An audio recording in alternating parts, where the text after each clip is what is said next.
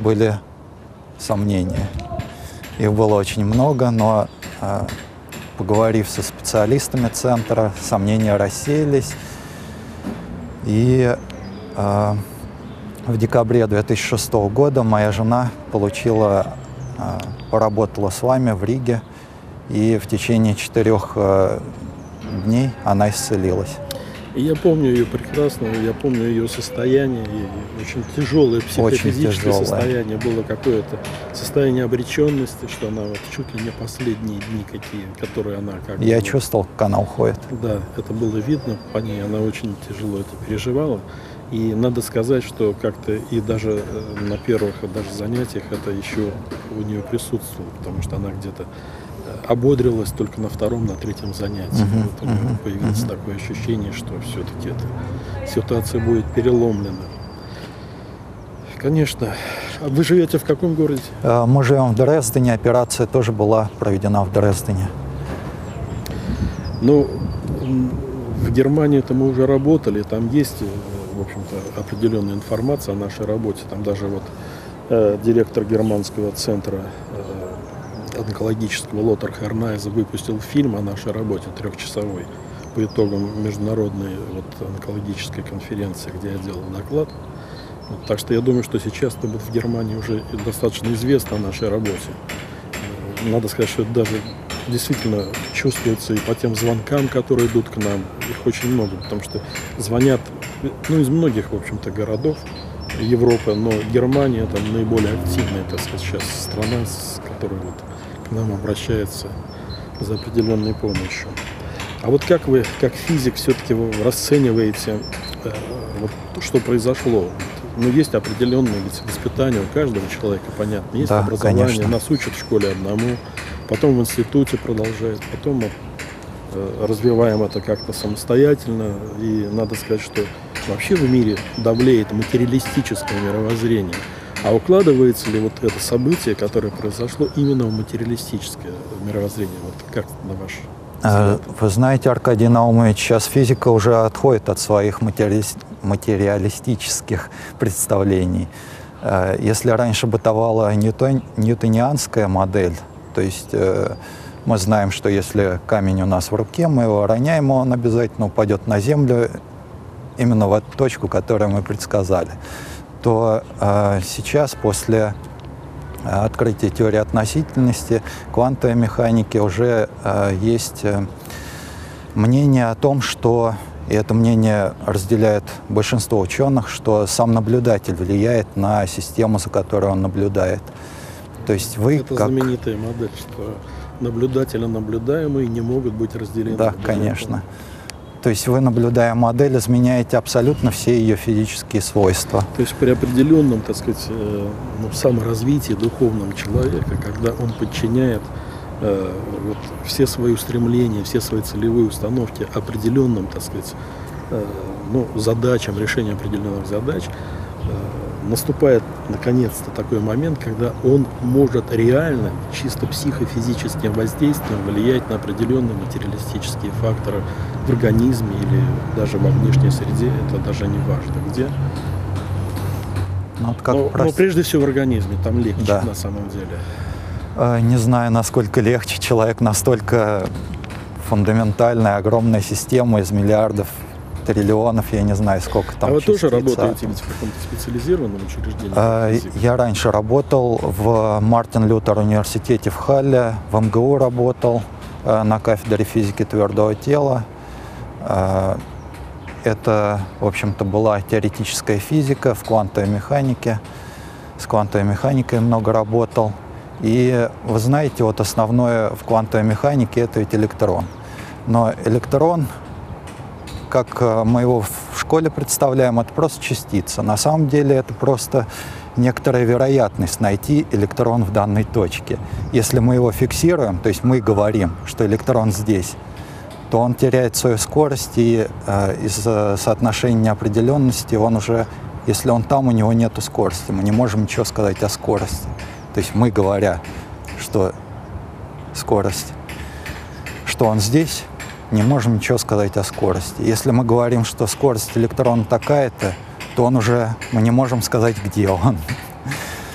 То есть просто смотря на электрон, Ну, вот мы меняем его вот свойства. со своими коллегами, с друзьями. Наверняка же какое-то обсуждение есть. В Как они принципе, воспринимают это событие? в принципе, теоретически физик об этом знает. Особенно тот, кто работает в квантовой Ну, механике. Может быть, за рубежом у нас, у нас точно не знают. У нас э, даже Нобелевский э, богоборец Гинзбург, есть такой академик, точно не знает даже о том, что есть Бог в этом мире. Он говорит о том, что, например, мир произошел от большого взрыва, но, что, э, но не рассматривает, что это такой за взрыв, который не разрушил, а все создал. Да еще в таком огромном, так сказать, э, при таком, ну, можно сказать, даже бесконечном количестве элементов, объектов, взаимосвязи и всего прочего. И где каждая песчинка как будто заранее знала, в какое место ей надо занять, и встал именно в это место. Его это не волнует. Его главное, что вот Бога нет и, и стоит на этом, и все. Но я считаю, что ученый не должен э, отрицать даже самые невероятные э, возможности. Пусть для некоторых то, что Бога нет, это невероятно, но он не должен это отрицать. Ну, в его мире, видите, вот так. Он А не в нашем- должен все равно это отрицать. А, А, в, может а в быть, нашем он мире, видите, вот, человек был болен раком, соприкоснулся и нет рака.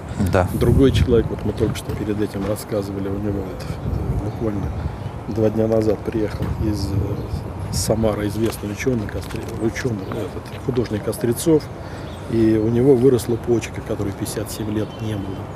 И тоже не без всяких операций, без всяких трансплантаций.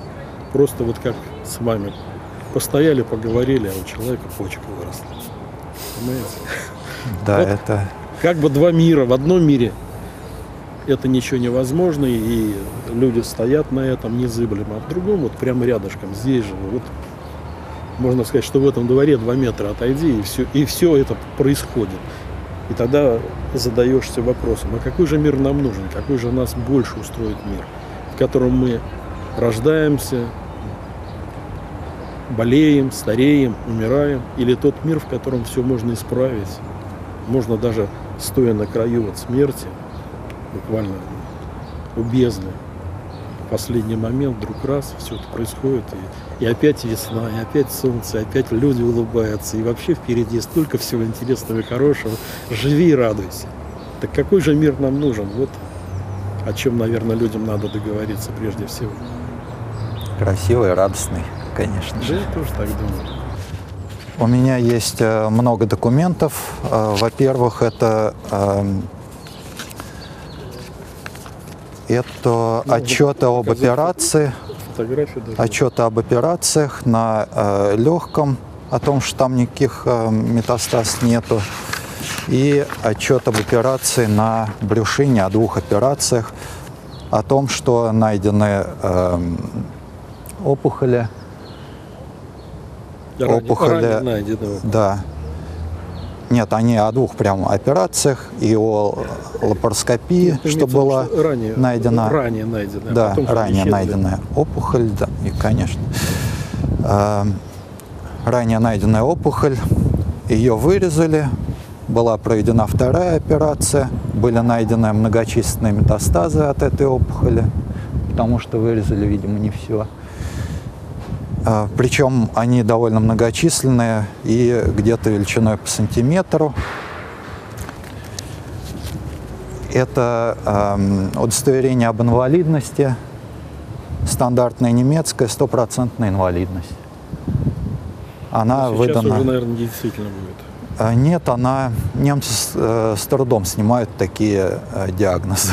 Несмотря ни на что. да. Конечно. но- Несмотря на то, что снято, но- но, Естественно. А последнее обследование было проведено магнитной, э, магнитно-резонансной спектроскопией. К сожалению, абдоминальный мезотелиом, мезотелиом брюшины имеет такое свойство, что это рак эпителиальный, и заметить его крайне тяжело. Нужно э, либо проводить лапароскопию, либо э, проводить резекцию брюшины, открывать полностью внутренние органы и уже смотреть, что там есть. Потому что это эпителиальный рак. Но на предыдущем э, магнитном резонансе были показаны э, Узлы лимфатические, э, опухоль на яичнике величиной 4 сантиметра. Э, на этом ее уже нету. Это отчет от 12 января э, с Аркадием Наумовичем. Было все проведено в декабре, в конце декабря. 27 по-моему, да. уже. Где-то так, в конце перед декабря. Совсем перед Новым годом. И самочувствие сейчас у нее как? Сейчас самочувствие отличное. Иногда возвращается, но это уже э, просто от операции, там было все нарушено, возвращается чувствительность, возвращается, э, возвращается радость жизни.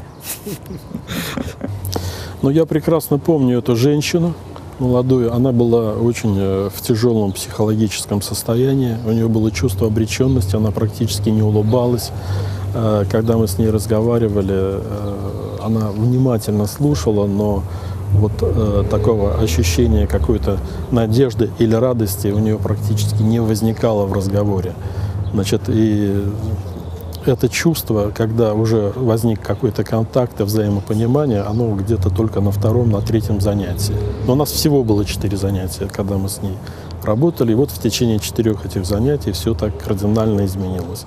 Тем более, что уже прошло достаточно много времени, это все-таки события уже многомесячной давности. И я думаю, что э, все у нее позитивное будет только укрепляться с каждым днем. А что из себя представляли занятия, которые проводились? Ну, это были специальные занятия по онкологии, где я рассказывал о, об определенных, так сказать, методиках об определенных методиках работы с онкологическими заболеваниями. То есть э, это не просто э, только мои воздействия, но это еще и процесс обучения, потому что сама, сама идеология того дела, которым мы занимаемся, она заключается в том, что человек должен соучаствовать в процессе. Э, то есть он приходит не как в поликлинику, чтобы вылечиться, а он приходит для того, чтобы получить знания, как э, привести в порядок значит, свой организм, решить свои проблемы, но в то же время – в то же время и иметь на будущее знание, как это решать самостоятельно, уже не обращаясь ни к кому. Как вы можете определить качество восприятия знаний вот ей, этой женщины? А качество восприятия знаний всегда в результате. Если так быстро и так мощно произошел такой, в общем-то, результат при диагнозе, который э, не предполагает по статистике не предполагает практически никакого позитивного исхода, да и сами врачи давали ей только несколько месяцев жизни, значит, э, сам результат говорит о том, что она очень серьезно а, отнеслась к этой работе. Но не будем забывать, что она ученый, что она занимается наукой, и как любой человек науки, она, если чем-то начинает заниматься, то она занимается серьезно. И вот это вот все дало свой, так сказать, результат. Ну и сейчас Лаура возвращается в нормальную настоящую жизнь. К сожалению, э, то, что у нее есть инвалидность, не дает ей права заниматься химией, в чем она специалист. И э, ее, к сожалению, еще до конца не выписали. Официальная медицина до конца не выписала, но это уже э, вопрос нескольких месяцев и начнет искать работу.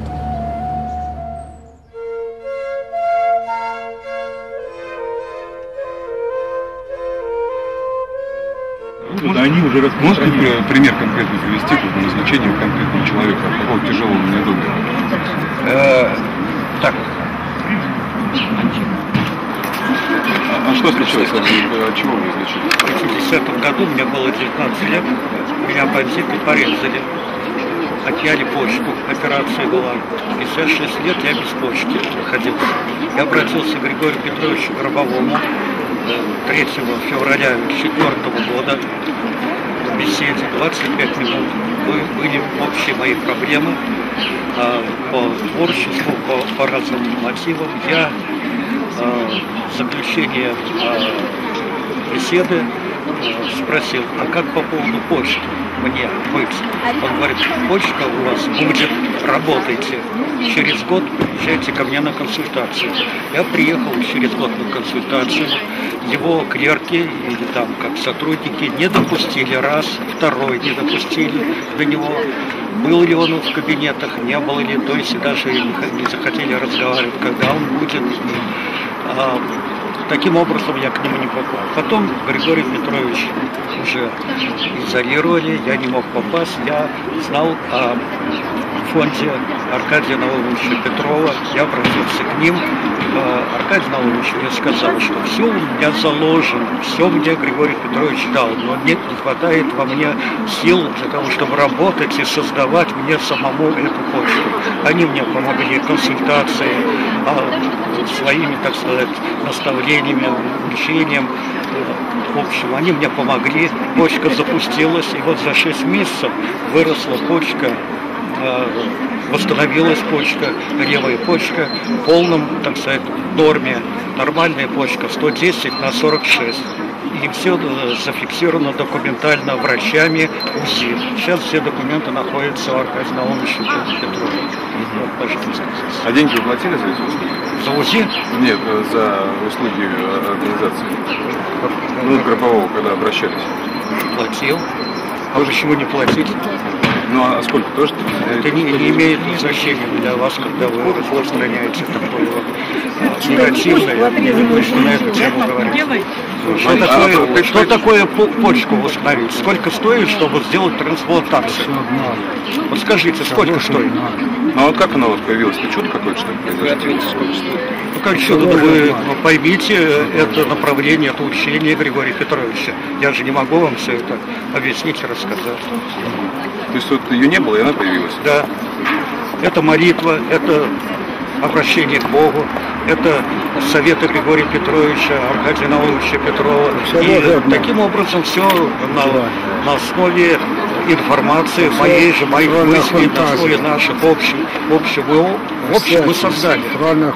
Начиная от Григория Петровича и всеми, э, кто мной занимался. Вот произошло. А За 9 месяцев. Анатолий Александрович Скрипцов. Спасибо большое. Анатолий Александрович, ну я очень рад вас видеть. Э, мы с вами так уже с 2006 года достаточно регулярно встречаемся. Вот вы сегодня привезли документы. Документы о том, что та почка, которая у вас была 56 лет назад удалена, опять на месте.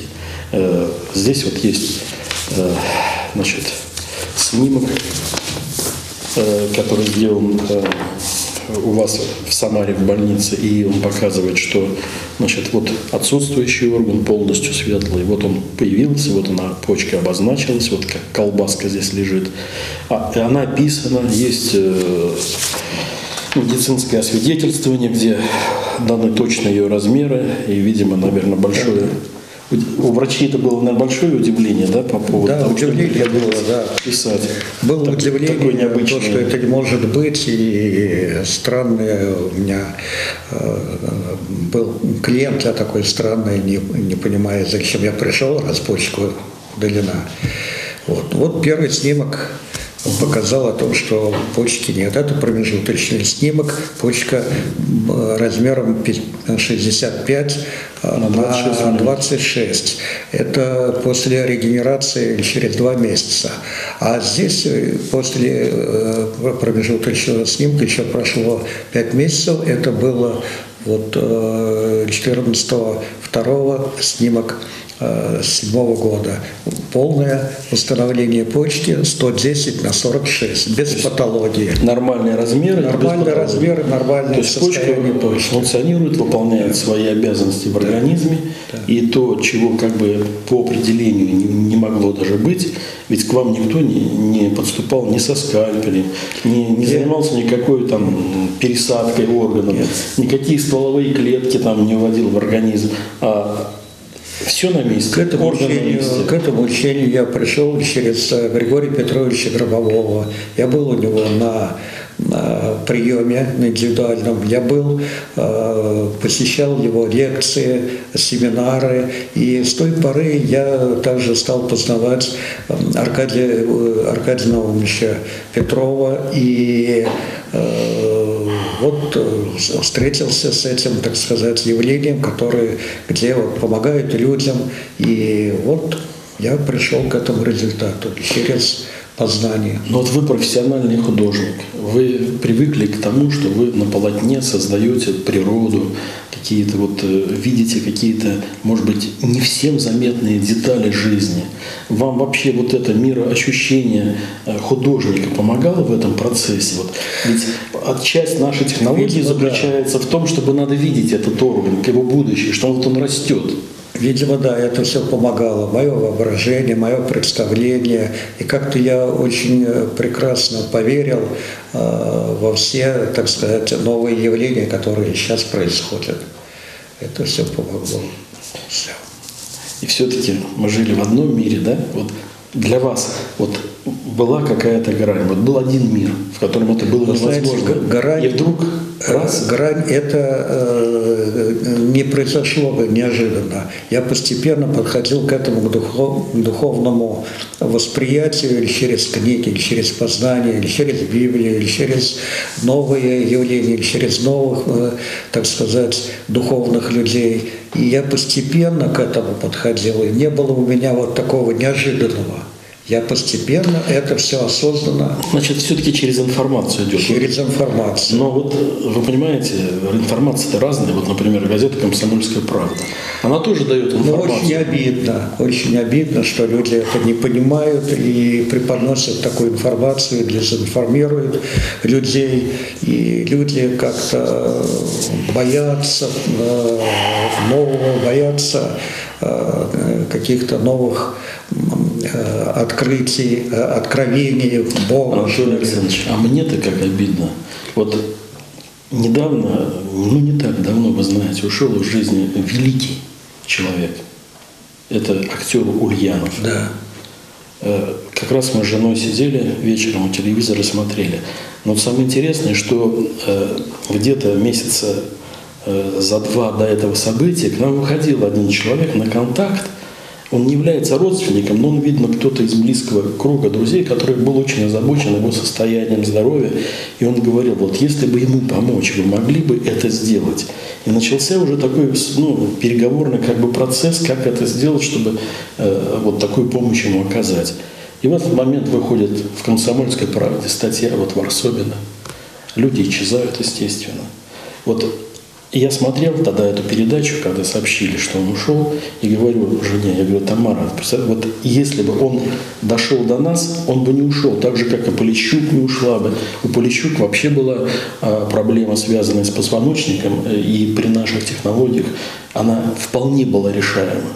Почему уходят великие люди? Из-за того, что какие-то вот, э, значит, журналисты хотят самоутверждаться на лжи, на обмане, на ненависти, не на том, чтобы вот, например, поддержать все доброе, что направлено на помощь человеку, а наоборот опрокинуть, Я думаю, что закидать это грязью. преступление, информационное преступление. Это против жизни, против народа, против всего. Мне кажется, наступит такой день, когда родственники этих людей придут к ним и спросят, почему Да. Они из-за той лжи, которую они распространяли такими гигантскими тиражами через телевидение, через газеты, они не смогли э, спасти своих родственников. Ну, Вот наверняка такой день настанет, когда к ним подступятся эти люди. Они, это уже близко. Это, наверное, уже в этом году начнет происходить. Потому что э, подтверждений нашей работы очень много. Это же э, и сотни, и тысячи, так сказать, случаев. Это, можно сказать, уже стало определенным потоком. Не только мы это делаем. Это наши ученики делают, это вы делаете.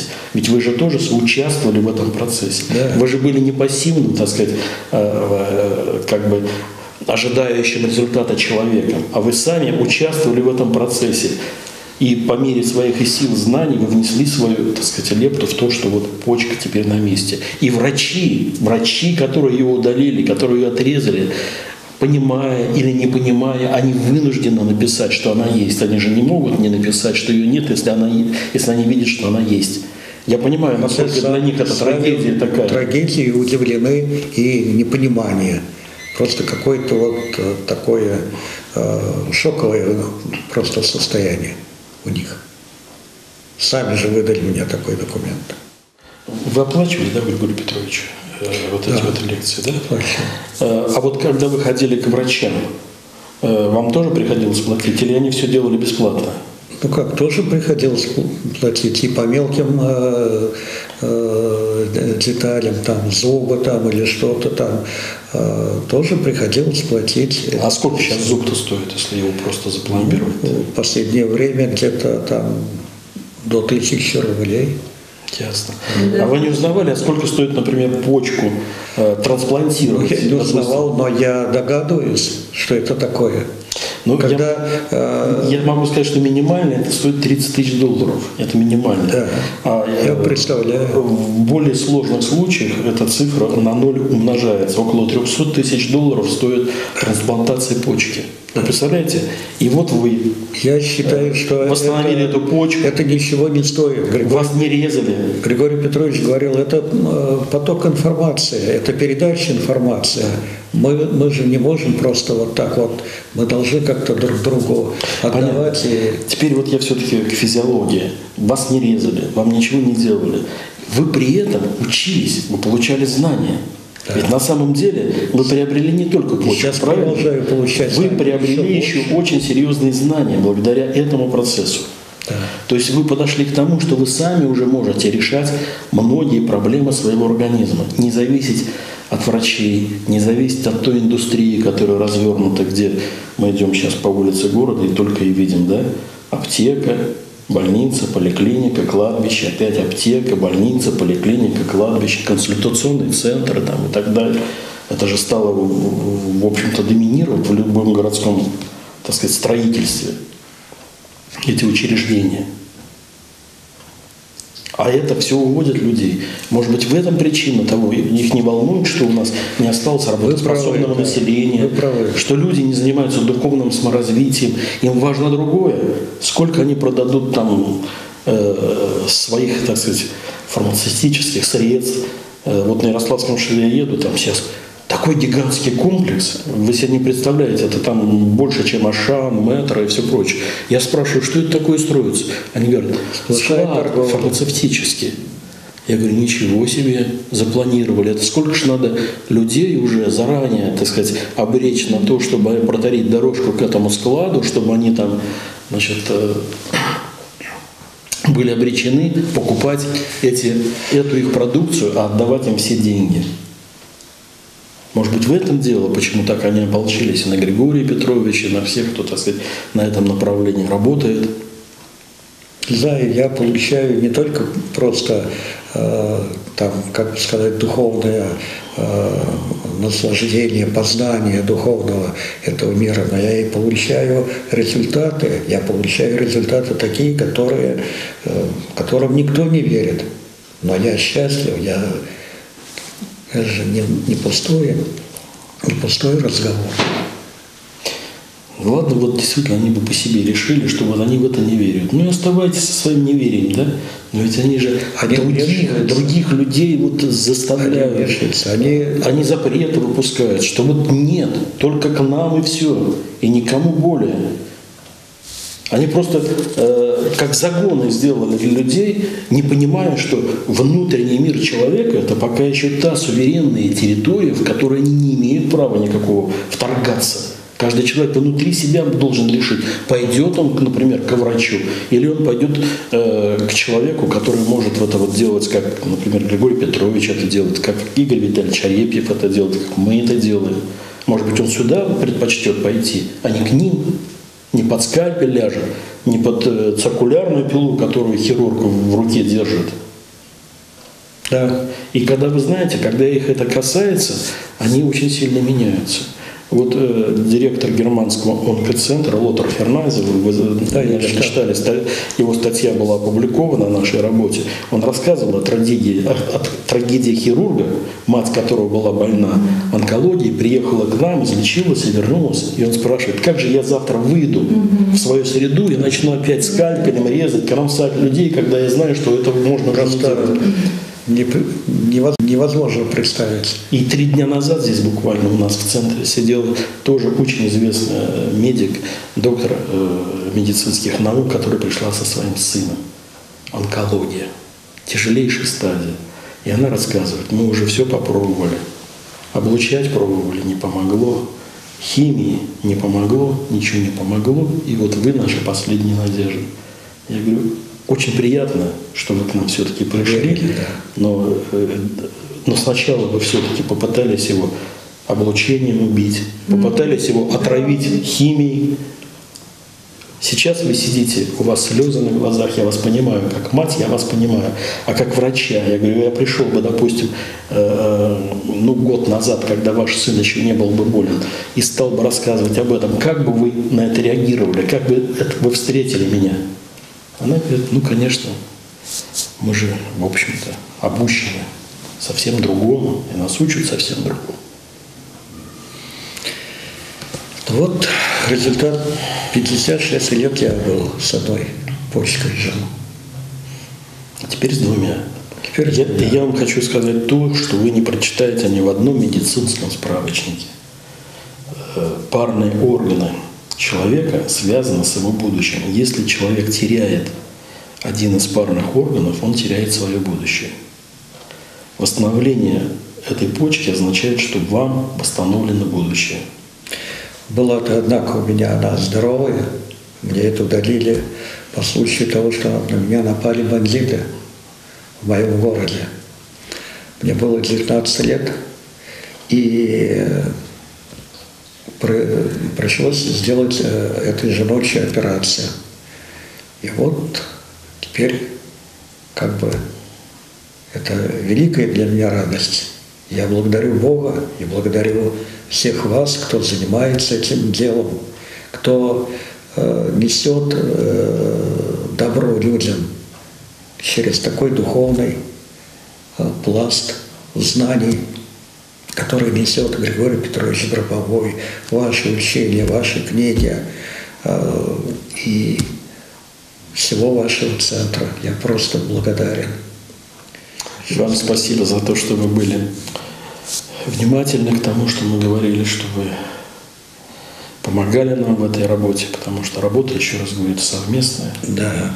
Вот, и я вам тоже благодарен за то внимание. И более того, хочу сказать, что каждый человек, у которого что-то отнормировалось и восстановилось, он восстанавливает определенное жизненное пространство в мире. То есть процесс внутренний восстановления переходит в процесс внешний, и что-то нормируется вокруг нас. Этого не знают, конечно, врачи, это не знают, конечно, варсобины, но это именно так. Спасибо.